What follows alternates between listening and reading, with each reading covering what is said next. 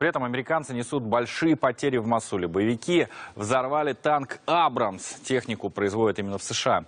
Сейчас она стоит в том числе и на вооружении армии Ирака. Террористы яростно пытаются остановить это освобождение города, которым, в общем-то, сейчас и занимается коалиция во главе США и иракской армии. ИГИЛ уже провозгласила Масул своей столицей в Ираке.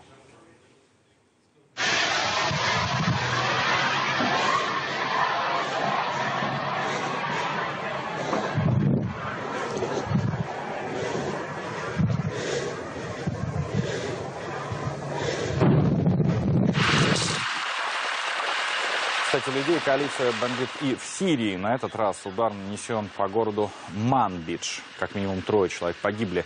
Но тем временем в Сирии обстановка продолжает накаляться. Террористы атакуют в том числе и журналистов. Мой коллега, специальный корреспондент Лайфа в Сирии Артур Кибеков попал под обстрел снайпера в пригороде Дамаска. Стрелок открыл огонь по съемочной группе в тот момент, когда готовился очередной сюжет.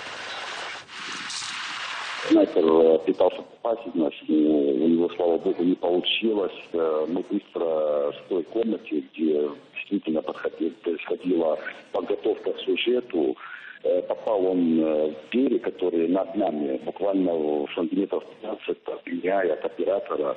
Ну, слава богу, очень повезло нам всем.